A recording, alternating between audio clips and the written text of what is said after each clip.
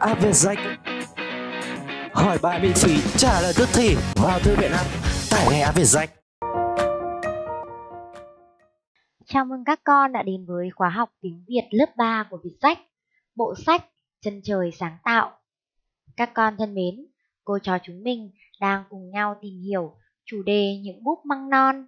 Và trong tiết học ngày hôm nay, cô sẽ là người đồng hành, hướng dẫn cùng với các con để thực hiện những yêu cầu, nhiệm vụ của bài số 3, hai bàn tay em trong vở bài tập tiếng Việt 3. Bây giờ, cô mời các con lấy cho cô vở bài tập tiếng Việt 3, tập 1, bút mực, bút chì, thước kẻ và các đồ dùng học tập cần thiết để bắt đầu vào tiết học ngày hôm nay nhé. Các con đã sẵn sàng chưa nào? Nếu các con đã sẵn sàng, hãy cùng cô bước vào bài học ngày hôm nay. Bài số 1, trang 28, vở bài tập tiếng Việt 3 tập 1. Viết vào phiếu đọc sách những thông tin chính sau khi đọc một bài đọc về thiếu nhi. Ở đây, các con phải hoàn thành phiếu đọc sách này dựa trên các nội dung chính, tên bài đọc, tên tác giả, tên sách hoặc báo có bài đọc và nội dung. Lưu ý ở đây, các con phải lựa chọn bài đọc về thiếu nhi nhé. Ở đây, cô sẽ gợi ý cho con làm bài tập số 1 như sau. Trước tiên, tên bài đọc, triển lãm thiếu nhi với 5 điều bác Hồ dạy. Tên tác giả, đó là báo Thiếu niên Tiền Phong. Các con hãy lưu ý cách viết hoa. Tên sách, báo có bài đọc, Thiếu niên Tiền Phong, số 223, năm 1961. Nội dung Bác Hồ tuy bận rộn, nhưng luôn dành sự quan tâm, đặc biệt đến thiếu nhi. Bác đã tổ chức một sự kiện đáng nhớ tại phòng khách của ngôi nhà đó là phòng triển lãm thiếu nhi với 5 điều bác Hồ dạy. Trong 20 ngày, có 10 vạn thiếu nhi đến xem triển lãm và bác đã nói chuyện và dự liên hoan với 2.000 thiếu nhi trong buổi bí mạc. Đây chính là nội dung chính của bài đọc này. Vậy, dựa vào gợi ý của cô, các con hãy hoàn thành cho cô phiếu đọc sách. Các con hãy hoàn thành phiếu, sau đó quay trở lại học tiếp sau khi đã hoàn thành xong nhé. Bài 2, trang 28, vừa bài tập tiếng Việt 3 tập 1. Nghe viết đường đến trường, sách giáo khoa trang 48. Vậy là trong bài tập 2, các con sẽ phải nghe cô đọc và chúng mình sẽ viết bài đường đến trường ở trong sách giáo khoa. Trước khi viết thì chúng mình sẽ cùng nhau luyện đọc. Đường đến trường Trên đường, từ nhà đến trường, tôi phải đi qua hồ Gươm. Lúc có bạn, chúng tôi thường xuyên trò chuyện tíu tít. Chuyện trò tíu tít. Có khi đuổi nhau, chúng tôi thường xuyên chuyện trò tíu tít. Có khi đuổi nhau suốt dọc đường. Khi đi một mình, tôi thích nhìn lên các vòm cây. Vì thế, tôi thường là đứa phát hiện ra bông hoa gạo đầu tiên nở trên cây gạo trước đền Ngọc Sơn. Theo Vân Long. Ở trong đoạn văn này, các con lưu ý chúng mình sẽ viết hoa các chữ cái đầu câu sau dấu chấm. Và ở đây chúng ta còn có hai tên riêng, đó là Hồ Gươm và Ngọc Sơn. Bây giờ, chúng mình sẽ cùng lắng nghe cô đọc và chúng mình sẽ viết. Các con lùi vào bốn ô so với lề. Viết tên đề bài. Đường đến trường. Đường đến trường. Đường đến trường. Đường đến trường. Đường đến trường.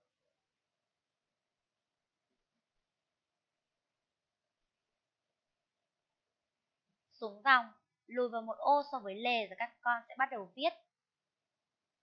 Trên đường. Trên đường. Trên đường. Trên đường.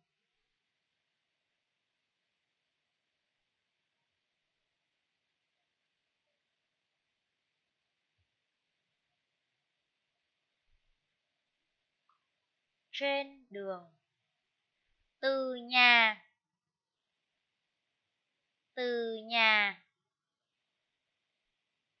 từ nhà từ nhà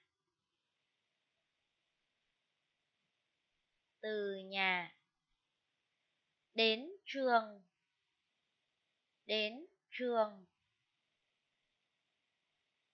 đến trường đến trường.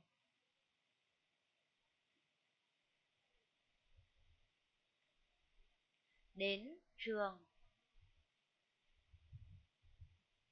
Vậy tôi phải tôi phải tôi phải tôi phải.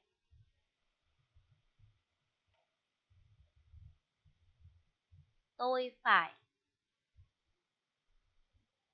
đi qua đi qua đi qua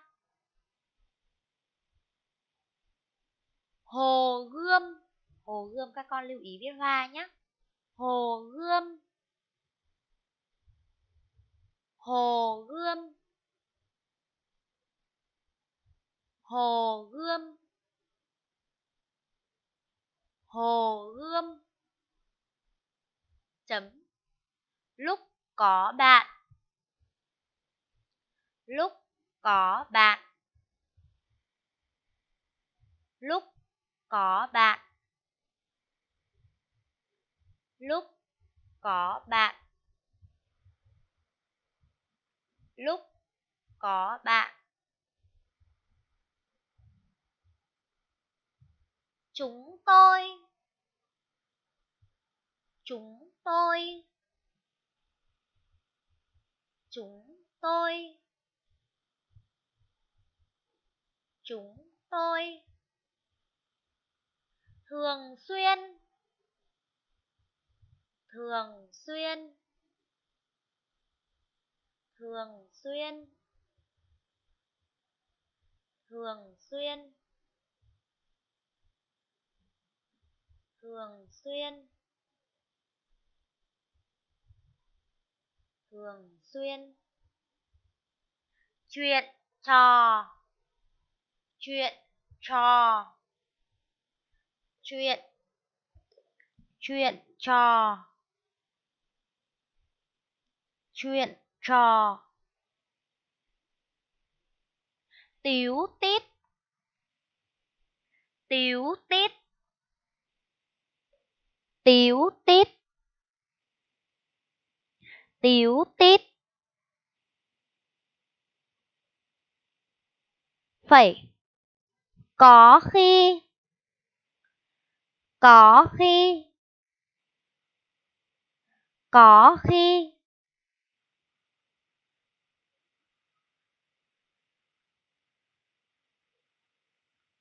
Có khi. Đuổi nhau. Đuổi nhau. Đuổi nhau. Đuổi nhau. Đuổi nhau. Đuổi nhau. Đuổi nhau. Đuổi nhau.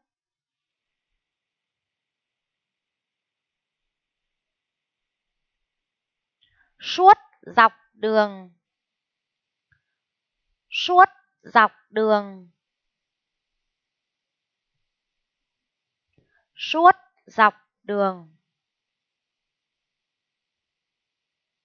Suốt dọc đường. Chấm. Khi đi. Khi đi. Khi đi.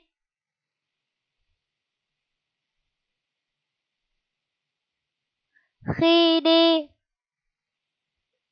một mình một mình một mình. Phẩy. Tôi thích. Tôi thích. Tu, tôi thích. Nhìn lên. Nhìn lên. Nhìn lên. Các vòm cây. Các vòm cây. Các vòm cây. Các vòm cây. Chấm. Vì thế. Vì thế.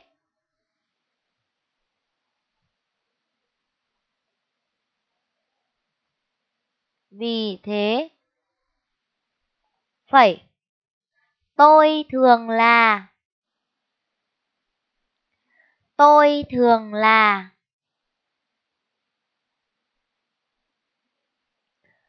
Tôi thường là.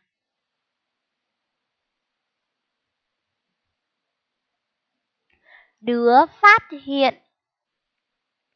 Đứa phát hiện. Đứa phát hiện. Đứa phát hiện. Ra bông hoa gạo. Ra bông hoa gạo. Ra bông hoa gạo. Ra bông hoa gạo. Ra bông hoa gạo. Đầu tiên. Đầu tiên. Đầu tiên. Đầu tiên.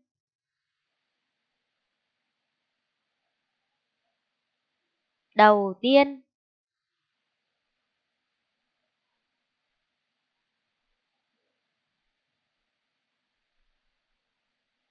Nở trên. Nở trên. Nở trên.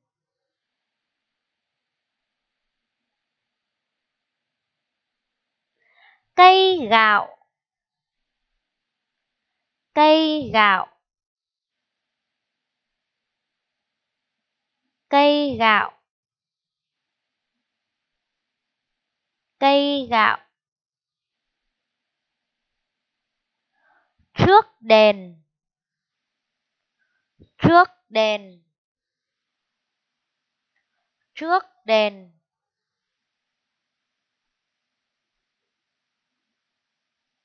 Ngọc Sơn. Ngọc Sơn. Ngọc Sơn. Chấm. Xuống dòng. Lùi 6 ô so với lề, Các con viết. Theo Vân Long. Theo Vân Long. Vậy là vừa rồi chúng mình đã lắng nghe cô Và chúng mình đã viết xong bài đường đến trường. Bây giờ các con sẽ soát lại lỗi, xem chúng mình có lỗi nào không thì các con khẩn trương, khẩn trương sửa vào bài của mình nhé. Tiếp theo chúng ta đến với bài số 3. Điền tiếng có chữ giờ hoặc di vào chỗ trống. Thúc chấm ba chấm, thể chấm ba chấm, phút chấm ba chấm, sợi chấm ba chấm, chấm ba chấm bài, chấm ba chấm bầu, chấm ba chấm cột chấm ba chấm xếp. Vậy ở đây các con sẽ phải tìm ra các tiếng để cùng với các tiếng đã cho tạo thành một từ phù hợp. Tuy nhiên, ở đây có thêm một yêu cầu, đó là các con phải tìm ra các tiếng, có chữ âm giờ hoặc âm di. Ở đây, chúng ta sẽ chữa bài tập này như sau. Thúc dục, Thể dục, Phút giây, Sợi dây, Dạy bài, Dàn bầu, Giày cộp Và giày dép ở đây các con lưu ý là chúng mình có thể điền các tiếng khác. Tuy nhiên, các tiếng này nó vẫn phải có âm giờ, âm di và vẫn phải cùng các tiếng đã cho tạo thành một từ có nghĩa nhé. Bây giờ các con hãy chỉnh sửa vào bài tập của mình nếu các con làm sai. Ta đến với bài tập tiếp theo, bài 4, viết 3 đến 4 từ ngữ. A. Chưa tiếng có vần ay ví dụ như dạy bảo. Chưa tiếng có vần A, ví dụ như là thức dậy. B. Chưa tiếng có vần uốc, học thuộc. Vần út sáng suốt. Bây giờ các con hãy cố gắng hoàn thành bài tập này và lưu ý là tối đa thì chúng mình cũng phải tìm được 3 đến 4 từ nhé. Ở đây các con có thể tham khảo một số từ mà cô đưa ra như sau. Với câu A vần ai cô sẽ có các từ như hay ho, tiếng hay có chứa vần ai, thay thế, tiếng thay có chứa vần ai, lay động, tiếng lay có chứa vần ai. Với vần A cô có từ cây cối, tiếng cây có chứa vần A, dây chun, tiếng dây có chứa vần A, cấy lúa, tiếng cấy có chứa vần A. Câu B, vần uốc, cô sẽ có các từ học thuộc, tiếng thuộc có chứa vần uốc. Cuộc sống, tiếng cuộc có chứa vần uốc. Buộc dây, tiếng buộc có chứa vần uốc. Với vần uất, cô sẽ có các từ bút giá, tiếng bút có chứa vần uất. Biết tuốt, tiếng tuốt có chứa vân uất. Các con có thể tham khảo các từ mà cô vừa đưa ra và bổ sung vào bài làm của mình nếu các con chưa đủ các từ nhé. Đến với bài 5, Trang 30 vừa bài tập tiếng Việt 3, tập 1. Tìm các sự vật được so sánh với nhau và từ ngữ dùng để so sánh trong mỗi đoạn thơ, câu văn sau, rồi điền vào bảng. Hai bàn tay em, như hoa đầu cành, hoa hồng hồng nụ, cánh tròn, ngón xinh. Đoạn thơ này của tác giả Huy Cận. Câu B. Ơ cái dấu hỏi, trông ngộ ngộ ghê như vành tay nhỏ. Hỏi rồi lắng nghe. Đoạn thư này của tác giả Phạm Như Hà. Câu C. Chiếc nhãn vở tựa như một đám mây xinh xắn. Câu D. Mỗi bông hoa phượng là một đốm lửa đỏ rực. Câu B. Ơ cái dấu hỏi. Trông ngộ ngộ ghê. Như vành tai nhỏ. Hỏi rồi lắng nghe. Đoạn thơ này của tác giả Phạm Như Hà. Câu C. Chiếc nhãn vở tựa như một đám mây xinh xắn. Câu D. Mỗi bông hoa phượng là một đốm lửa đỏ rực. Ở đây, các con phải hoàn thành bảng sau. Câu thứ nhất sự vật, câu thứ hai từ ngữ dùng để so sánh và câu thứ ba sự vật hai. Bây giờ các con hãy làm bài tập này, sau đó các con hãy quay trở lại đây để cùng cô kiểm tra đáp án nhé. Ở đây trong câu A sự vật 1 đó là hai bàn tay. Từ ngữ để so sánh là từ như và sự vật 2 là hoa đầu cành. Ở đây sự vật 1 hai bàn tay và sự vật 2 hoa đầu cành có điểm giống nhau, đó là hai bàn tay của bé thì nhỏ nhắn, xinh xắn và đáng yêu như những bông hoa đầu cành, nên tác giả đã so sánh hình ảnh hai bàn tay với hoa đầu cành. Tiếp theo, dấu hỏi ở đây là sự vật một như là từ ngữ để so sánh và vành tai là sự vật hai. Sở dĩ dấu hỏi được so sánh với vành tai bởi vì hình dáng của dấu hỏi và vành tai thì đều có một nét cong khá là giống nhau.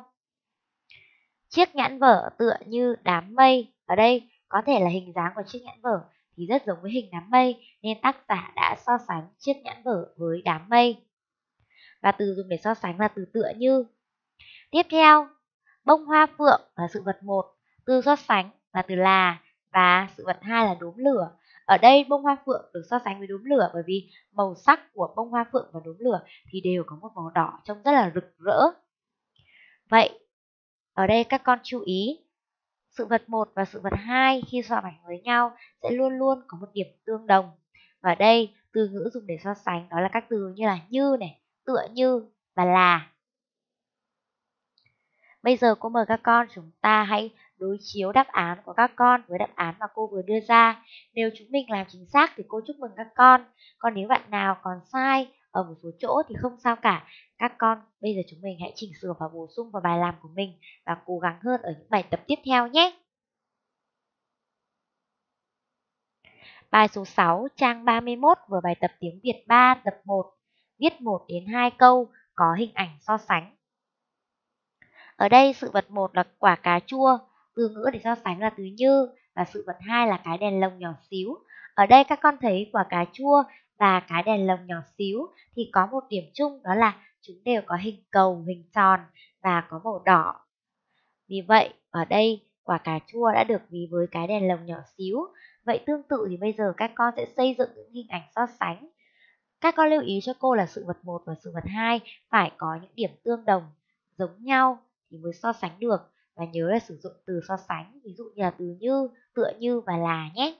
Ở đây cô sẽ đưa ra một số câu có hình ảnh so sánh để các con tham khảo. Ví dụ, tiếng suối trong như tiếng hát xa. Ở đây các con thấy cô đã so sánh tiếng suối trong với tiếng hát xa, bởi vì tiếng suối trong và tiếng hát xa đều có đặc điểm chung đó là trong trẻo, vang xa, rất là thoải mái thư giãn khi nghe. Tiếp theo, trăng sáng như gương. Ở đây các con thấy trăng sáng và gương thì đều có điểm chung đó là nó vô cùng sáng. Vì vậy, cô đã so sánh hai sự vật này với nhau và cô đều sử dụng từ như là từ ngữ dùng để so sánh. Vậy tương tự như cách cô đã làm, bây giờ các con hãy tạo ra các câu văn có hình ảnh so sánh nhé.